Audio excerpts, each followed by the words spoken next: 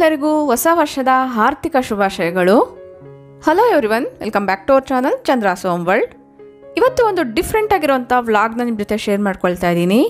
I think first time ನಾನು ಈ ಥರದ ವ್ಲಾಗ್ನ ನಿಮ್ಮ ಜೊತೆ ಶೇರ್ ಮಾಡ್ಕೊಳ್ತಾ ಇರೋವಂಥದ್ದು ಹೊಸ ವರ್ಷ ಆಗಿರೋದ್ರಿಂದ ಹೊಸದಾಗಿ ಒಂದು ವ್ಲಾಗ್ನ ನಿಮ್ಮ ಜೊತೆ ಶೇರ್ ಮಾಡ್ಕೊಳ್ತಾ ಇದ್ದೀನಿ. ಇದು ಸಂಡೇ ವ್ಲಾಗು ಇದರಲ್ಲಿ ಕುಕ್ಕಿಂಗ್ ಜೊತೆಗೆ ಡೆಕೋರ್ ಶಾಪಿಂಗ್ ಕ್ಲೀನಿಂಗ್ ಎಲ್ಲ ಕಂಟೆಂಟ್ನ ಕೂಡ ಆ್ಯಡ್ ಮಾಡಿದ್ದೀನಿ. ಸೊ ಆದಷ್ಟು ವಿಡಿಯೋನ ಎಲ್ಲೂ ಸ್ಕಿಪ್ ಮಾಡಿದ್ರೆ ಕೊನೆವರೆಗೂ ನೋಡ್ತಾ ಹೋಗಿ. ನಿಮ್ಮಲ್ಲಿ ತುಂಬ ಜನ ನಿಮ್ಮ ತುಳಸಿ ಕಟ್ಟೆ ಎಲ್ಲಿ ತೊಗೊಂಡಿದ್ದೀರಾ, ಅದರ ಡೀಟೇಲ್ಸ್ ಹೇಳಿ ಅಂತ ಕೇಳ್ತಾ ಇದ್ರಿ. ಈಗಾಗಲೇ ನಾನು ಆ ಒಂದು ಫುಲ್ಲು ಡೀಟೇಲ್ ವಿಡಿಯೋನ ನಿಮ್ಮ ಜೊತೆ ಶೇರ್ ಮಾಡ್ಕೊಂಡಿದ್ದೀನಿ. ಯಾರಾದರೂ ಚೆಕ್ ಮಾಡಿಲ್ಲ ಅಂದರೆ ಒಂದ್ಸರಿ ಹೋಗಿ ಚೆಕ್ ಮಾಡಿ. ಮತ್ತೆ ನಾವು ಅದೇ ಶಾಪ್ಗೆ ಬಂದಿದ್ದೀವಿ. ಕೆಲವೊಂದು ಐಟಮ್ಸ್ನ ಬೈ ಮಾಡೋದಕ್ಕೋಸ್ಕರ. ಇಲ್ಲಿ ನೋಡ್ತಾ ಇದ್ದೀರಲ್ಲ ತುಂಬಾ ಡಿಫ್ರೆಂಟ್ ಆಗಿರುವಂಥ ತುಳಸಿ ಕಟ್ಟೆಗಳೆಲ್ಲನೂ ಬಂದಿದೆ. ಸೊ ಈ ವಿಡಿಯೋದಲ್ಲಿ ಯಾವ್ಯಾವ ರೀತಿಯಾಗಿರುವಂಥ ತುಳಸಿ ಕಟ್ಟೆ ಇದೆ, ಅದ್ರ ಜೊತೆಗೆ ಇನ್ನೂ ಏನಾದರೂ ಎಕ್ಸ್ಟ್ರಾ ಆ್ಯಡ್ ಮಾಡಿರುವಂಥ ಥಿಂಗ್ಸ್ ಏನಾದರೂ ಇದ್ದರೂ ಕೂಡ ಪೂರ್ತಿಯಾಗಿ ಶೇರ್ ಮಾಡ್ತಾ ಇದ್ದೀನಿ. ಸೊ ವಿಡಿಯೋ ನೋಡೋಕ್ಕಿಂತ ಮುಂಚೆ ನೀವೇನಾದ್ರೂ ನಮ್ಮ ಚಾನಲ್ನ ಫಸ್ಟ್ ಟೈಮ್ ವಿಸಿಟ್ ಮಾಡ್ತಾ ಇದ್ರೆ ಈಗಲೇ ಸಬ್ಸ್ಕ್ರೈಬ್ ಮಾಡಿಕೊಂಡು ಪಕ್ಕದಲ್ಲಿರುವಂಥ ಬೆಲ್ ಐಕನ್ನ ಕ್ಲಿಕ್ ಮಾಡಿ. ಬೆಲ್ ಐಕನ್ ಕ್ಲಿಕ್ ಮಾಡಿ ಆಲೋನ್ ಆಪ್ಷನ್ ಕ್ಲಿಕ್ ಮಾಡೋದ್ರಿಂದ ನಾನು ನೆಕ್ಸ್ಟ್ ವಿಡಿಯೋ ಹಾಕಿದ ತಕ್ಷಣ ನಿಮಗೆ ನೋಟಿಫಿಕೇಶನ್ ಅಂತ ಬರುತ್ತೆ. ನೀವೇ ಫಸ್ಟ್ ಆಗಿ ನಮ್ಮ ವೀಡಿಯೋಸ್ನ ನೋಡ್ಬೋದು. ಇನ್ನು without delay let's start the content comments of the day ನೋಡೋಣ. ನಿಮ್ಮ ಬ್ಯೂಟಿಫುಲ್ ಕಮೆಂಟ್ಸಿಂದ ಯಾರ್ಯಾರೆಲ್ಲ ನನಗೆ ಮೋಟಿವೇಶನ್ ಕೊಡ್ತಾ ಇದ್ದೀರೋ ನಿಮ್ಮೆಲ್ಲರಿಗೂ ಕೂಡ ತುಂಬಾ ಥ್ಯಾಂಕ್ಸ್ ಸೊ ಈ ರೀತಿ ತುಂಬಾ ಬ್ಯೂಟಿಫುಲ್ ಆಗಿರುವಂಥ ಕಮೆಂಟ್ಸಿಂದ ನನಗೂ ಕೂಡ ತುಂಬ ಮೋಟಿವೇಶನ್ ಸಿಗ್ದಂಗೆ ಆಗುತ್ತೆ. ಇನ್ನೂ ಡಿಫ್ರೆಂಟ್ ಆಗಿರುವಂಥ ವ್ಲಾಗ್ಸ್ನ ಮಾಡೋಕ್ಕೆ ಟ್ರೈ ಮಾಡ್ತಾ ಇರ್ತೀನಿ. ಆದಷ್ಟು ಸಬ್ಸ್ಕ್ರೈಬ್ ಮಾಡಿಕೊಂಡು ವಿಡಿಯೋನ ಲೈಕ್ ಮಾಡಿ. ಫಸ್ಟು ಕ್ಲೀನಿಂಗಿನೇ ಸ್ಟಾರ್ಟ್ ಮಾಡ್ತಾ ಇದ್ದೀನಿ. ಕ್ಲೀನಿಂಗ್ ಅಂದರೆ ಈ ರೀತಿ ಬ್ರಾಸ್ ಐಟಮ್ಸ್ನ ಡೆಕೋರ್ಗೋಸ್ಕರ ಯೂಸ್ ಮಾಡ್ತಾ ಇರ್ತೀರಲ್ವ? ಸೊ ಈ ಒಂದು ಡೆಕೋರ್ ಪೀಸ್ನ ನಾನೀಗ ಕ್ಲೀನ್ ಮಾಡ್ತಾ ಇದ್ದೀನಿ. ಇದು ಬಂದು ಬ್ರಾಸ್ ವಾಸು ಫ್ಲವರ್ಸ್ ಎಲ್ಲ ಇಟ್ಟು ಡೆಕೋರೇಟ್ ಮಾಡ್ಕೊಳ್ತಾ ಇರ್ತೀವಲ್ವ ಅದು? ಇದನ್ನು ಕ್ಲೀನ್ ಮಾಡೋದಕ್ಕೋಸ್ಕರ ಲಾಸ್ಟ್ ವಿಡಿಯೋದಲ್ಲಿ ನಾನೊಂದು ಪೇಸ್ಟ್ನ ನಿಮ್ಮ ಜೊತೆ ಶೇರ್ ಮಾಡ್ಕೊಂಡಿದ್ದೆ. ಹೋಮ್ ಮೇಡ್ ಪೇಸ್ಟು ಅದ್ರ ಜೊತೆಗೆ ಸ್ವಲ್ಪ ಸಬಿನ ಪೌಡರ್ನ ತೊಗೊಂಡು ಎಲ್ಲದಕ್ಕೂ ನೀಟಾಗಿ ಅಪ್ಲೈ ಮಾಡ್ತಾ ಇದ್ದೀನಿ. ನಾರ್ಮಲಿ ಪೂಜಾ ಐಟಮ್ಸ್ ಎಲ್ಲ ಆದರೆ ಆಗಾಗ ಕ್ಲೀನ್ ಮಾಡ್ಕೊಳ್ತಾ ಇರ್ತೀವಿ. ಬಟ್ ಈ ರೀತಿ ಡೆಕೋರ್ ಪರ್ಪಸ್ಗೆ ಯೂಸ್ ಮಾಡೋ ಅಂಥದ್ದಾದರೆ ಸೊ ಎಷ್ಟು ಹಳೇದಾದರೆ ಅಷ್ಟು ಆ್ಯಂಟಿಕ್ಕಾಗಿ ಕನ್ವರ್ಟ್ ಆಗುತ್ತೆ. ಬಟ್ ನಾವು ಯಾವಾಗಲೂ ಕೂಡ ಡೆಕೋರ್ಗೋಸ್ಕರ ಯೂಸ್ ಮಾಡೋದ್ರಿಂದ ಸ್ವಲ್ಪ ಆದರೂ ಡಸ್ಟ್ ಆಗೇ ಆಗಿರುತ್ತೆ. ಅದಕ್ಕೋಸ್ಕರ ನಾನು ಈ ಒಂದು ಪೇಸ್ಟ್ನ ಅಪ್ಲೈ ಮಾಡಿ ಜಸ್ಟ್ ನಾರ್ಮಲ್ ವಾಟರಿಂದ ವಾಶ್ ಮಾಡ್ತಾ ಇದ್ದೀನಿ ಅಷ್ಟೇ ಇದ್ರ ಒಳಗಡೆ ಎಲ್ಲ ಕೂಡ ನೀರೆಲ್ಲನೂ ಹಾಕಿ ನೀಟಾಗಿ ವಾಶ್ ಮಾಡ್ತಾ ಇದ್ದೀನಿ. ಈಗ ಇರ್ಲಿ ಬೌಲ್ನ ಕೂಡ ಸೇಮ್ ಸಬೀನ ಮತ್ತು ಆ ಒಂದು ಪೇಸ್ಟಿಂದನೇ ಜಸ್ಟ್ ಅಪ್ಲೈ ಮಾಡ್ತಾ ಇದ್ದೀನಿ. ಡಿಫ್ರೆನ್ಸ್ ನೀವು ಅಬ್ಸರ್ವ್ ಮಾಡಿದ್ರೆ ನೀಟಾಗಿ ಗೊತ್ತಾಗ್ತಾ ಇರುತ್ತೆ. ಜಸ್ಟ್ ಅಪ್ಲೈ ಮಾಡಿ ವಾಶ್ ಮಾಡಿದ್ರೆ ಸಾಕಾಗುತ್ತೆ. ಜಾಸ್ತಿ ನಾವು ಸ್ಕ್ರಬ್ಬರ್ನ ತೊಗೊಂಡು ಉಜ್ಜೋ ಅವಶ್ಯಕತೆ ಏನಿರಲ್ಲ. ಈಗ ಇದೆಲ್ಲದನ್ನ ಕೂಡ ನೀಟಾಗಿ ಒಣಗಕ್ಕೆ ಇಡ್ತಾ ಇದ್ದೀನಿ.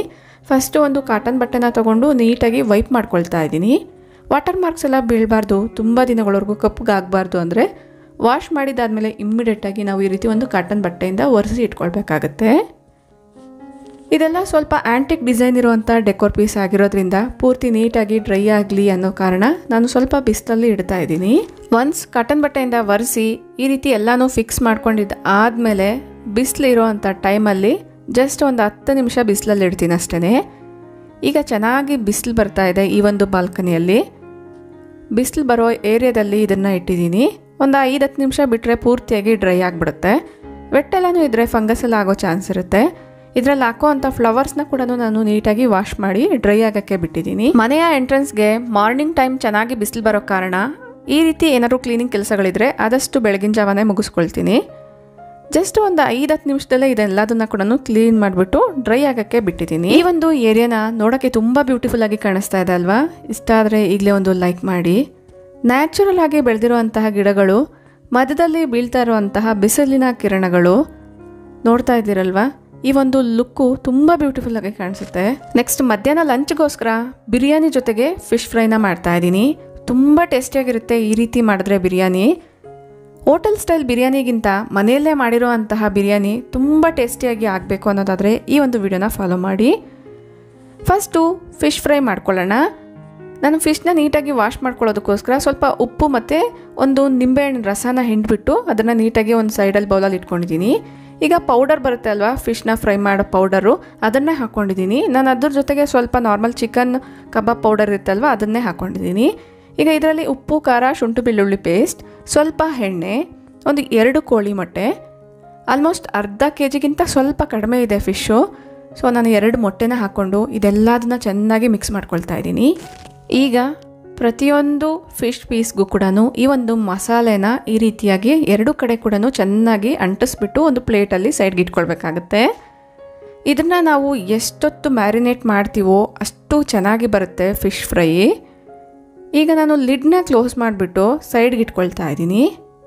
ಡೈರೆಕ್ಟಾಗಿ ನೀವು ಲಿಡ್ನ ಕ್ಲೋಸ್ ಮಾಡಿ ಫ್ರಿಜ್ಜಲ್ಲಿ ಕೂಡ ಇಟ್ಕೊಳ್ಬೋದು. ಈಗ ನಾನು ಮಟನ್ನ ತೊಗೊಂಡಿದ್ದೀನಿ. ಇದನ್ನ ಎರಡು ಭಾಗ ಮಾಡ್ಕೊಂಡಿದ್ದೀನಿ.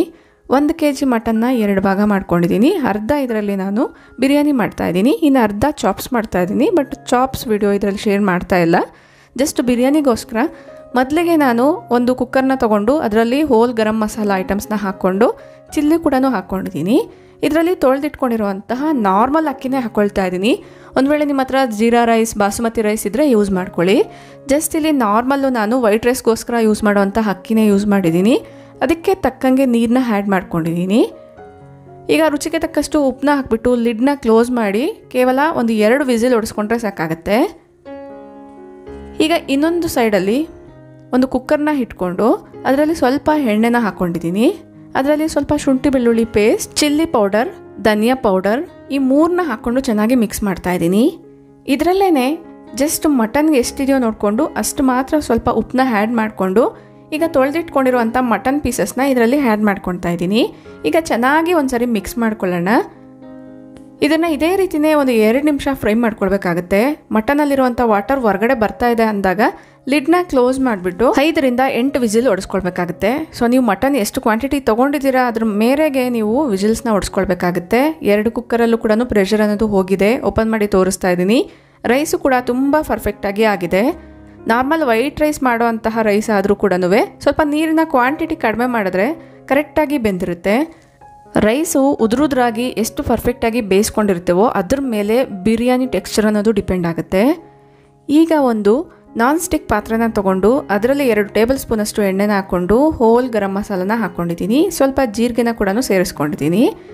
ಸ್ವಲ್ಪ ಕರಿಬೇವನ್ನ ಹಾಕ್ಬಿಟ್ಟು ಇದರಲ್ಲೂ ಕೂಡ ಒಂದು ಸ್ಪೂನಷ್ಟು ಶುಂಠಿ ಬೆಳ್ಳುಳ್ಳಿ ಪೇಸ್ಟ್ನ ಆ್ಯಡ್ ಮಾಡ್ಕೊಂಡಿದ್ದೀವಿ ಈಗಾಗಲೇ ಮಟನ್ ಬೇಯಬೇಕಾದ್ರೂ ಸ್ವಲ್ಪ ಶುಂಠಿ ಬೆಳ್ಳುಳ್ಳಿ ಪೇಸ್ಟ್ನ ಯೂಸ್ ಮಾಡಿರ್ತೀವಿ. ಈಗ ನೋಡ್ಕೊಂಡು ಹಾಕ್ಕೊಳ್ಬೇಕಾಗತ್ತೆ ಒಂದು ದಪ್ಪದಾಗಿರುವಂತಹ ಎರಡು ಈರುಳ್ಳಿನ ಸಣ್ಣದಾಗಿ, ಉದ್ದುದ್ದವಾಗಿ ಹಚ್ಕೊಂಡು ಅದನ್ನು ಕೂಡ ಹಾಕ್ಕೊಂಡಿದ್ದೀನಿ ಇದು ಬೇಗ ಫ್ರೈ ಆಗಲಿ ಅನ್ನೋದ್ರಿಂದ ಸ್ವಲ್ಪ ಉಪ್ಪು ಅರಿಶಿನ ಹಾಕ್ಕೊಂಡಿದ್ದೀನಿ ಒನ್ಸ್ ಇದು ಕಲರ್ ಚೇಂಜ್ ಆಯಿತು ಅಂದರೆ ಎರಡು ಟೊಮೊಟೊನ ನಾನಿಲ್ಲಿ ಹಾಕ್ಕೊಂಡಿದ್ದೀನಿ ಮೀಡಿಯಮ್ ಸೈಜ್ದು ಇದೆಲ್ಲ ಚೆನ್ನಾಗಿ ಫ್ರೈ ಆದಮೇಲೆ ಇದರಲ್ಲಿ ಚಿಲ್ಲಿ ಪೌಡರು ಧನಿಯಾ ಪೌಡರು ಗರಂ ಮಸಾಲ.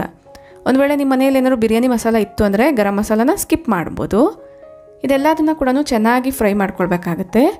ಫ್ರೈ ಆದಮೇಲೆ ನಾವಾಗಲೇ ಕುಕ್ಕರಲ್ಲಿ ಬೇಯಿಸಿ ಇಟ್ಕೊಂಡಿದ್ದೀವಲ್ವ, ಆ ಒಂದು ಮಟನ್ ಪೀಸಸ್ನ ಇದರಲ್ಲೇ ಹಾಕ್ಕೊಳ್ಳೋದು ಅಷ್ಟೇ ಅದೇ ಕುಕ್ಕರಲ್ಲೇ ವಾಟರ್ ಇತ್ತು ಅಂದರೆ ಪರವಾಗಿಲ್ಲ. ಒಂದು ವೇಳೆ ವಾಟರ್ ಇಲ್ಲ ಅಂದರೆ ಒಂದು ಅರ್ಧ ಗ್ಲಾಸಷ್ಟು ವಾಟರ್ನ ಹಾಕ್ಕೊಂಡು ಇದೆಲ್ಲ ಚೆನ್ನಾಗಿ ಮಿಕ್ಸ್ ಆಗೋ ರೀತಿಯಲ್ಲಿ ಬೇಯಿಸ್ಕೊಳ್ಬೇಕಾಗತ್ತೆ. ಮಟನ್ ಸರಿಯಾಗಿ ಬೆಂದಿಲ್ಲ ಅಂದರೆ ಬಿರಿಯಾನಿ ಸರಿಯಾಗಿ ಆಗಲ್ಲ. ಆದಷ್ಟು ಮಟನ್ ಪರ್ಫೆಕ್ಟಾಗಿ ಬೇಯಿಸ್ಕೊಳ್ಬೇಕಾಗತ್ತೆ. ಕುಕ್ಕರಲ್ಲಿ ಸರಿಯಾಗಿ ಬೆಂದಿಲ್ಲ ಅನ್ನೋದಾದರೆ ಒಂದು ಐದು ಹತ್ತು ನಿಮಿಷ ನೀವು ಮತ್ತೆ ಇದೇ ಪಾತ್ರೆಯಲ್ಲೇ ಬೇಯಿಸ್ಕೊಳ್ಬೋದು. ನೆಕ್ಸ್ಟ್ ಕ್ಲಿಪ್ಪಿಂಗ್ಸ್ ಮಿಸ್ ಆಗಿದೆ. ಒನ್ಸ್ ನೀವು ಅದನ್ನೆಲ್ಲ ಮಿಕ್ಸ್ ಮಾಡಿದಾದಮೇಲೆ, ನೀವು ಆಗಲೇ ರೈಸ್ನ ರೆಡಿ ಮಾಡಿ ಇಟ್ಕೊಂಡ್ರಲ್ಲ, ಅದನ್ನು ಹಾಕ್ಬಿಟ್ಟು ಚೆನ್ನಾಗಿ ಮಿಕ್ಸ್ ಮಾಡಿ ಕೊತ್ತಂಬರಿ ಪುದೀನ ಹಾಕೋದಷ್ಟೇ ತಳ ಅಂಟುತ್ತೆ ಅನ್ನೋದ್ರಿಂದ ತವಾ ಮೇಲೆ ನಾನು ಒಂದು ಐದು ನಿಮಿಷ ಬಿಟ್ಬಿಟ್ಟಿದ್ದೀನಿ ಆಗ ದಮ್ ಬಿರಿಯಾನಿ ಟೈಪಲ್ಲಿ ತುಂಬ ಚೆನ್ನಾಗಿ ಬರುತ್ತೆ. ಈಗ ಫಿಶ್ ಫ್ರೈನ ಮಾಡ್ಕೊಳ್ಳೋಣ. ಒಂದು ತವನ ತೊಗೊಂಡಿದ್ದೀನಿ ಈ ಒಂದು ಪ್ಯಾನಲ್ಲಿ ಸ್ವಲ್ಪ ಎಣ್ಣೆನ ಹಾಕ್ಕೊಳ್ತಾ ಇದ್ದೀನಿ ನೀವು ಇದನ್ನೇ ಆಯಿಲಲ್ಲಿ ಡೀಪ್ ಫ್ರೈ ಕೂಡ ಮಾಡ್ಕೊಳ್ಬೋದು. ಬಟ್ ನಾವು ಆ ಆಯಿಲ್ನ ಮತ್ತೆ ರೀಯೂಸ್ ಮಾಡೋಕ್ಕೂ ಆಗಲ್ಲ. ಅದಕ್ಕೋಸ್ಕರ ನಾನು ಜಸ್ಟ್ ಒಂದು ಎರಡು ಸ್ಪೂನಷ್ಟು ಎಣ್ಣೆನ ಹಾಕ್ಕೊಂಡು ಅದೇ ಪ್ಯಾನಲ್ಲೇ ಫಿಶ್ ಫ್ರೈನ ಮಾಡ್ಕೊಳ್ತಾ ಇದ್ದೀನಿ. ಒಂದು ಎರಡು ನಿಮಿಷ ಆದಮೇಲೆ ಮತ್ತೆ ಇದನ್ನು ಈ ರೀತಿ ಫ್ಲಿಪ್ ಮಾಡಬೇಕಾಗತ್ತೆ. ಎರಡು ಕಡೆ ಕೂಡ ಚೆನ್ನಾಗಿ ಈ ರೀತಿ ಟರ್ನ್ ಮಾಡಿಕೊಂಡು ಫಿಶ್ನ ಫ್ರೈ ಮಾಡ್ಕೊಳ್ಬೇಕಾಗತ್ತೆ. ಈಗ ಒಂದು ಎರಡು ನಿಮಿಷ ಆದಮೇಲೆ ನೋಡ್ತಾ ಇರ್ಬೋದು ನೀವು. ಆ ಕಲ್ಲರು ಟೆಕ್ಸ್ಚರು ನೋಡ್ತಿದ್ರೇ ಫಿಶ್ ಕರೆಕ್ಟಾಗಿ ಬೆಂದಿದೆಯಾ ಇಲ್ವಾ ಅನ್ನೋದು ಗೊತ್ತಾಗುತ್ತೆ. ಈಗ ಸರ್ವಿಂಗ್ ಟೈಮ್ ಒಂದು ಒಳ್ಳೆ ಟೇಸ್ಟಿ ಬಿರಿಯಾನಿನ ನೀವೇನಾದರೂ ಮನೆಯಲ್ಲಿ ಟ್ರೈ ಮಾಡಬೇಕು ಅಂದ್ಕೊಂಡಿದ್ರೆ ಡೆಫಿನೆಟ್ಲಿ ಈ ರೀತಿ ಒಂದ್ಸರಿ ಟ್ರೈ ಮಾಡಿ ನೋಡಿ. ತುಂಬಾ ಟೇಸ್ಟಿಯಾಗಿರುತ್ತೆ ಪದೇ ಪದೇ ಇದೇ ರೀತಿ ಬಿರಿಯಾನಿ ಮಾಡ್ತಾ ಇರ್ತೀರಾ? ಸೊ ಬಿರಿಯಾನಿಗೆ ಫ್ಯಾನ್ಸ್ ಆಗಿಬಿಡ್ತೀರ? ನೀವೇನಾದರೂ ಈ ರೀತಿ ಒಂದ್ಸರಿ ಟ್ರೈ ಮಾಡಿದ್ರೆ ಟೇಸ್ಟ್ ವೈಸ್ ತುಂಬಾ ಸೂಪರ್ಬಾಗಿರುತ್ತೆ ಫಿಶ್ ಫ್ರೈ ಕೂಡ ಅಷ್ಟೇ. ಈ ರೀತಿ ಒಂದ್ಸರಿ ಟ್ರೈ ಮಾಡಿ ನೋಡಿ. ಇಷ್ಟ ಆದರೆ ಈಗಲೇ ಒಂದು ಲೈಕ್ ಮಾಡಿ ಫ್ರೆಂಡ್ಸ್ ತುಂಬ ಥರದ ಬಿರಿಯಾನಿಗಳನ್ನ ಟ್ರೈ ಮಾಡ್ತಾ ಇರ್ತೀರಾ? ಬಟ್ ಒನ್ಸ್ ನೀವು ಈ ಒಂದು ರೆಸಿಪಿನ ಏನಾದರೂ ಟ್ರೈ ಮಾಡಿದ್ರೆ ಇದಕ್ಕೆ ಸ್ಟಿಕ್ ಆನ್ ಆಗಿಬಿಡ್ತೀರಾ? ಅಷ್ಟು ಟೇಸ್ಟಿಯಾಗಿರುತ್ತೆ ಇಷ್ಟ ಆದರೆ ಒಂದ್ಸರಿ ಟ್ರೈ ಮಾಡಿ. ಹೊಸ ವರ್ಷ ಬರಲಿ, ಹಳೆ ವರ್ಷ ಬರಲಿ, ಹಬ್ಬ ಆಗಲಿ, ಹರಿದಿನ ಆಗಲಿ ಹೋಮ್ ಮೇಕರ್ಸ್ಗೆ ಮಾತ್ರ ಮನೆ ಕೆಲಸ ತಪ್ಪದೇ ಇಲ್ಲ. ಸೊ ಅದೇ ಟೈಮಲ್ಲೇ ಮೇಡ್ಸ್ ಕೂಡ ಕೆಲವೊಂದು ಸರಿ ಸ್ಕಿಪ್ ಆಗ್ತಾ ಇರ್ತಾರೆ. ಕೆಲವೊಂದು ಕೆಲಸಗಳನ್ನ ನಾವೇ ಕಂಪಲ್ಸರಿಯಾಗಿ ಮಾಡ್ಕೊಳ್ಳೇಬೇಕಾಗತ್ತೆ. ಅಡುಗೆ ಮಾಡೋದಕ್ಕಿಂತ ಪಾತ್ರೆ ತೊಳೆಯೋದೇ ಜಾಸ್ತಿ ಕೆಲಸ ಆಗುತ್ತೆ. ಇಲ್ಲಿ ನಾನು ಪಾತ್ರೆಗಳನ್ನ ಅದೇ ರೀತಿಯೇ ಕ್ಲೀನ್ ಮಾಡ್ಕೊಳ್ತಾ ಇದ್ದೀನಿ. ಬಟ್ ನಾನ್ ವೆಜ್ ಮಾಡಿದಾಗ ನಾನು ಈ ಒಂದು ಪಾತ್ರೆಗಳನ್ನ ಕ್ಲೀನ್ ಮಾಡೋದಕ್ಕೋಸ್ಕರ ಬೇರೆ ರೀತಿಯಾಗಿರುವಂಥ ಡಿಟರ್ಜೆಂಟ್ ಲಿಕ್ವಿಡ್ನ ಮಿಕ್ಸ್ ಮಾಡ್ಕೊಳ್ತೀನಿ. ಅದು ಏನು ಅಂತ ಕೂಡ ನಾನು ನೆಕ್ಸ್ಟ್ ವಿಡಿಯೋದಲ್ಲಿ ತಿಳಿಸ್ತೀನಿ. ಆ ರೀತಿ ಮಾಡೋದ್ರಿಂದ ನಾನ್ ವೆಜ್ ಮಾಡಿದಾಗೆಲ್ಲ ಪಾತ್ರೆಗಳೆಲ್ಲ ಸ್ಮೆಲ್ ಬರ್ತಿರ್ತಲ್ಲ ಅದೆಲ್ಲ ಕೂಡ ಅವಾಯ್ಡ್ ಆಗುತ್ತೆ. ಎವ್ರಿ ಸಂಡೇ ನಾನು ಕಿಚನ್ನ ಡೀಪ್ ಕ್ಲೀನ್ ಮಾಡ್ಕೊಳ್ತಾ ಇರ್ತೀನಿ. ನಾನು ಯಾವ ರೀತಿ ಮಾಡ್ತೀನಿ ಅನ್ನೋದು ಕೂಡ ಈಗಾಗಲೇ ಒಂದು ವಿಡಿಯೋನ ಶೇರ್ ಮಾಡಿದ್ದೀನಿ. ಈಗ ನಾನು ಡಿಪ್ ಕ್ಲೀನ್ ಎಲ್ಲ ಮುಗ್ದಾದಮೇಲೆ ಆ ಒಂದು ಕ್ಲಾತ್ಸ್ನ ಕೂಡ ನಮ್ಮ ಕಿಚನಲ್ಲೇ ಬಟ್ಟೆ ಒಗೆಯುವಂಥ ಕಟ್ಟೆ ಇದೆ. ಅಂದರೆ ಇದು ಸಿಂಕು ಇದರಲ್ಲೇ ನಾನು ಬಟ್ಟೆಗಳನ್ನೆಲ್ಲ ಕ್ಲೀನ್ ಮಾಡ್ಕೊಳ್ತಾ ಇರ್ತೀನಿ. ಐ ಮೀನ್ ಕಿಚನ್ ಟವಲ್ಸ್ನ ಒನ್ ಬೈ ಒನ್ ಎಲ್ಲದನ್ನ ನೀಟಾಗಿ ಕ್ಲೀನ್ ಮಾಡಿದಾದಮೇಲೆ ಈಗ ಜಾಲಿಸ್ಕೊಳ್ತಾ ಇದ್ದೀನಿ. ಈ ಒಂದು ಕ್ಲಾತ್ಸ್ನ ಕ್ಲೀನ್ ಮಾಡೋದಕ್ಕೂ ಕೂಡ ಒಂದು ನಾನು ವಾಟರ್ನ ಯೂಸ್ ಮಾಡ್ತೀನಿ ಸೋಕ್ ಮಾಡೋದಕ್ಕೋಸ್ಕರ. ಅದನ್ನು ನಾನು ನೆಕ್ಸ್ಟ್ ವಿಡಿಯೋದಲ್ಲಿ ತಿಳಿಸ್ತೀನಿ. ಈಗ ಶಾಪಿಂಗ್ ಶಾಪಿಂಗೋಸ್ಕರ ಹೊರಗಡೆ ಹೊರಟಿದ್ದೀವಿ ನಾವು ಹೊರಟಿರುವಂಥದ್ದು ದೊಡ್ಡಬಳ್ಳಾಪುರ ರೋಡಲ್ಲಿರುವಂಥ ರಾಜನಕುಂಟೆ ಅನ್ನೋ ಒಂದು ಏರಿಯಾಗೆ. ಏನಕ್ಕೆ ಹೊರಟಿದ್ದೀವಿ? ಏನು ತರಕ್ಕೆ ಹೊರಟಿದ್ದೀವಿ ಅಂತ ವಿಡಿಯೋನ ನೀವೇ ಕೊನೆವರೆಗೂ ನೋಡ್ತಾ ಹೋದರೆ ಅರ್ಥ ಆಗುತ್ತೆ. ಜಸ್ಟ್ ನಿಮಗೆ ಈ ಒಂದು ಅಡ್ರೆಸ್ ಎಲ್ಲ ಕರೆಕ್ಟಾಗಿ ಗೊತ್ತಾಗಲಿ ಅನ್ನೋದ್ರಿಂದ ಶೇರ್ ಮಾಡ್ತಾ ಇದ್ದೀನಿ. ನಾನು ಬಂದಿರೋವಂಥದ್ದು ನಮ್ಮ ತುಳಸಿ ಕಟ್ಟೆ ತಗೊಂಡಿರುವಂತಹ ಒಂದು ಅಂಗಡಿಗೇನೆ. ಸೊ ಈ ಒಂದು ಏರಿಯಾ ಹೆಸರು ರಾಜನಕುಂಟೆ. ನಾವು ಹೋಗಿರುವಂಥ ಶಾಪ್ ಹೆಸರು ಬೆಂಗಳೂರು ಸ್ಟೋನ್ ಆರ್ಟ್ಸ್ ಅಂತ. ಇದು ಮೇನ್ ರೋಡಲ್ಲೇ ಬರುತ್ತೆ. ಮಹಾವೀರ್ ಗ್ರಾನೈಟ್ಸ್ ಅಂತ ಒಂದು ಶಾಪ್ ಇದೆ. ಅದರ ಎದುರುಗಡೆನೆ ಬೆಂಗಳೂರು ಸ್ಟೋನ್ ಆರ್ಟ್ಸ್ ಅಂತ ಒಂದು ಶಾಪ್ ಇರುತ್ತೆ. ನೋಡಿ ಈ ರೀತಿಯಾಗಿ. ಈ ಒಂದು ಶಾಪ್ಗೆ ಬಂದಿದ್ದೀವಿ. ಇಲ್ಲಿ ಕೆಲವೊಂದು ಐಟಮ್ಸ್ನ ಬೈ ಮಾಡೋದಕ್ಕೋಸ್ಕರ. ಇಲ್ಲಿ ನೀವು ನೋಡ್ತಾ ಇರ್ಬೋದು ಒಂದಕ್ಕಿಂತ ಒಂದು ಬ್ಯೂಟಿಫುಲ್ ಆಗಿರುವಂಥ ಡೆಕೋರ್ ಐಟಮ್ಸ್ ಇದೆ. ತುಳಸಿ ಕಟ್ಟೆಗಳು ಅಷ್ಟೇ. ಒಂದಿರೋವಂಥ ರೀತಿಯಲ್ಲಿ ಇನ್ನೊಂದಿಲ್ಲ. ತುಂಬಾ ಡಿಫ್ರೆಂಟ್ ಆಗಿದೆ.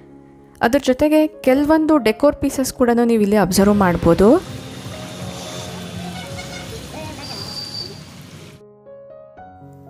ತುಳಸಿ ಕಟ್ಟೆ ಡೀಟೇಲ್ ವಿಡಿಯೋ ನೋಡಿ ನಿಮ್ಮಲ್ಲೂ ಕೂಡ ಕೆಲವೊಬ್ರು ಈ ಒಂದು ತುಳಸಿ ಕಟ್ಟೆಗಳನ್ನ ಪರ್ಚೇಸ್ ಮಾಡಿದ್ದೀರಾ? ಆದರೆ ನಾನು ಈ ವಿಡಿಯೋ ಡಿಸ್ಕ್ರಿಪ್ಷನಲ್ಲಿ ಕೂಡ ಆ್ಯಡ್ ಮಾಡ್ತೀನಿ. ಇಂಟ್ರೆಸ್ಟ್ ಇರೋರು ಒಂದು ವೇಳೆ ನಾನು ಆ್ಯಡ್ ಮಾಡಿಲ್ಲ ಅಂದಾಗ ಕಮೆಂಟ್ ಮಾಡಿ ತಿಳಿಸಿ. ಜಸ್ಟ್ ನೀವು ಅಬ್ಸರ್ವ್ ಮಾಡ್ತಾ ಹೋದರೆ ಸಾಕಾಗುತ್ತೆ. ಒಂದಕ್ಕಿಂತ ಒಂದು ಬ್ಯೂಟಿಫುಲ್ ಆಗಿರುವಂಥ ಡೆಕೋರ್ ಪೀಸಸ್ ಕೂಡ ಇದೆ. ಮೇ ಬಿ ಇಲ್ಲಿ ಕಸ್ಟಮೈಸೇಷನ್ ಕೂಡ ಇರುತ್ತೆ. ಇಂಟ್ರೆಸ್ಟ್ ಇರೋರು ಚೆಕ್ ಮಾಡಿ. ಇದೆಲ್ಲ ಕೂಡ ಮಾರ್ಬಲಿಂದ ಮಾಡಿರುವಂಥದ್ದು ಸ್ಯಾಂಡ್ ಸ್ಟೋನ್ ಅಂತೆಲ್ಲ ಬರುತ್ತೆ ಅಲ್ವಾ? ತುಂಬ ಡಿಫ್ರೆಂಟ್ ಆಗಿರುವಂಥ ಸ್ಟೋನ್ಸ್ ಎಲ್ಲನೂ ಯೂಸ್ ಮಾಡಿ ಒಂದೊಂದು ಕೂಡ ತುಂಬಾ ಯೂನಿಕ್ ಆಗಿದೆ. ನಾನು ಜಸ್ಟ್ ತುಳಸಿ ಕಟ್ಟೆಗಳನ್ನ ತೋರಿಸ್ತಾ ಇದ್ದೀನಿ ನೋಡಿ.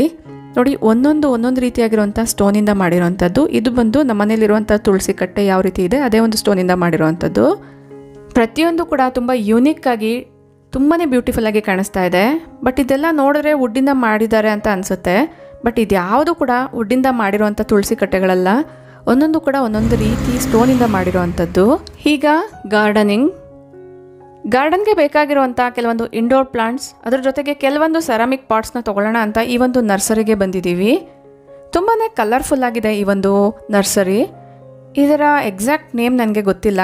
ನಿಮ್ಗೆ ಯಾರಿಗಾದರೂ ಇಂಟ್ರೆಸ್ಟ್ ಇದ್ದರೆ ನನಗೆ ಕಮೆಂಟ್ ಮಾಡಿ ತಿಳಿಸಿ. ನೆಕ್ಸ್ಟ್ ಟೈಮ್ ಹೋದಾಗ ಪೂರ್ತಿ ಡೀಟೇಲ್ಸ್ನ ತಿಳಿಸ್ತೀನಿ.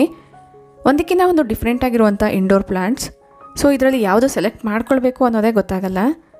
ಬಟ್ ನಾನು ಮೇಯ್ನಾಗಿ ಬಂದಿದ್ದು ಸೆರಾಮಿಕ್ ಪಾಟ್ಸ್ಗೋಸ್ಕರ ಇದರಲ್ಲಿ ಕೆಲವೊಂದು ಸೆರಾಮಿಕ್ ಪಾಟ್ಸ್ ಜೊತೆಗೆ ಕೆಲವೊಂದು ಪ್ಲಾಂಟ್ಸ್ನ ಕೂಡ ಬೈ ಮಾಡಿದ್ದೀನಿ. ಕಮಿಂಗ್ ವೀಡಿಯೋಸಲ್ಲಿ ನಾನು ಏನೇನೆಲ್ಲ ತೊಗೊಂಡಿದ್ದೀನಿ, ಯಾವ್ಯಾವ ಪ್ಲಾಂಟ್ಸ್ನ ತೊಗೊಂಡಿದ್ದೀನಿ, ಅದನ್ನು ಯಾವ ರೀತಿ ಪಾಟ್ಸಲ್ಲಿ ನೆಡಬೇಕು ಸೆರಾಮಿಕ್ ಪಾಟ್ಸಲ್ಲಿ ನೆಡಬೇಕಾದ್ರೆ ಯಾವ ರೀತಿ ನಾವು ಪ್ರಿಕಾಷನ್ಸ್ನೆಲ್ಲ ತೊಗೊಳ್ಬೇಕಾಗತ್ತೆ ಅನ್ನೋದು ಕೂಡ ಡೀಟೇಲಾಗಿ ತಿಳಿಸ್ಕೊಡ್ತೀನಿ. ಗಾರ್ಡನ್ಗೆ ಸಂಬಂಧಪಟ್ಟಂತೆ ತುಂಬ ಕ್ವಶನ್ಸ್ನ ಕೇಳ್ತಾ ಇರ್ತೀರಾ? ಕೆಲವೊಬ್ಬರು ನೀವು ಏನು ಆಗ್ತಾ ಇದ್ದೀರಾ ಗಿಡಗಳಿಗೆ? ಅದನ್ನು ಸರಿಯಾಗಿ ಹೇಳ್ತಾ ಇಲ್ಲ ಅನ್ನೋದು ಕೂಡ ಕೇಳ್ತಾ ಇರ್ತೀರಾ? ಬಟ್ ನಾನು ಯಾವ ರೀತಿ ಪ್ರಿಕಾಷನ್ಸ್ನ ತೊಗೊಳ್ತೀನಿ, ಯಾವ ರೀತಿ ಟಿಪ್ಸ್ನ ಫಾಲೋ ಮಾಡ್ತೀನಿ ಅದನ್ನು ಮಾತ್ರನೇ ಶೇರ್ ಮಾಡ್ತಾ ಇರ್ತೀನಿ. ಗಾರ್ಡನ್ಗೆ ಸಂಬಂಧಪಟ್ಟಂಥ ನಿಮ್ದೇನಾದರೂ ಎಕ್ಸ್ಟ್ರಾ ಕ್ವಶನ್ಸ್ ಇದ್ದರೆ ನನಗೆ ಕಮೆಂಟ್ ಮಾಡಿ ತಿಳಿಸ್ಬೋದು. ನೆಕ್ಸ್ಟ್ ಬರುವಂಥ ವೀಡಿಯೋಸಲ್ಲಿ ಅದ್ರ ಬಗ್ಗೆ ಮಾಹಿತಿನ ತಿಳಿಸ್ಕೊಡ್ತೀನಿ. ಈ ವಿಡಿಯೋನ ನಾನು ಎಲ್ಲಿಗೆ ಎಂಡ್ ಮಾಡ್ತಾ ಇದ್ದೀನಿ ಫ್ರೆಂಡ್ಸ್. ಈ ವಿಡಿಯೋ ನಿಮ್ಮೆಲ್ಲರಿಗೂ ಯೂಸ್ಫುಲ್ ಆಗುತ್ತೆ ಅನ್ನೋದ್ರಿಂದನೇ ಶೇರ್ ಮಾಡಿದ್ದೀನಿ. ಯೂಸ್ಫುಲ್ ಆಯಿತು ಇಂಟ್ರೆಸ್ಟಿಂಗ್ ಆಗಿತ್ತು ಅನಿಸಿದ್ರೆ ಇಲ್ಲಿ ಒಂದು ಲೈಕ್ ಮಾಡಿ ನಿಮ್ಮ ಫ್ರೆಂಡ್ಸ್ ಆ್ಯಂಡ್ ಫ್ಯಾಮಿಲಿ ಜೊತೆಗೂ ಶೇರ್ ಮಾಡಿ, ನಿಮ್ಮ ಅನಿಸಿಕೆ ಅಭಿಪ್ರಾಯಗಳನ್ನ ನನಗೆ ಕಮೆಂಟಲ್ಲಿ ತಿಳಿಸಿ. ಇದೇ ರೀತಿಯಾಗಿರುವಂಥ ಬ್ಯೂಟಿಫುಲ್ ವೀಡಿಯೋಸ್ಗೋಸ್ಕರ ನೀವು ಇನ್ನೂ ಸಬ್ಸ್ಕ್ರೈಬ್ ಮಾಡ್ಕೊಂಡಿಲ್ಲ ಅಂದರೆ ಕೂಡಲೇ ಸಬ್ಸ್ಕ್ರೈಬ್ ಮಾಡಿಕೊಂಡು ಪಕ್ಕದಲ್ಲಿರುವಂಥ ಬೆಲ್ ಐಕನ್ನ ಕ್ಲಿಕ್ ಮಾಡಿ. ಇನ್ನೊಂದು ಇಂಟ್ರೆಸ್ಟಿಂಗ್ ಆಗಿರುವಂಥ ವೀಡಿಯೋ ಜೊತೆಗೆ ಮತ್ತೆ ಸಿಗ್ತೀನಿ. ಅಲ್ಲಿವರೆಗೂ ಟೇಕ್ ಕೇರ್ ಬಾಯ್ ಬಾಯ್ ನಮಸ್ತೆ. Thank you for watching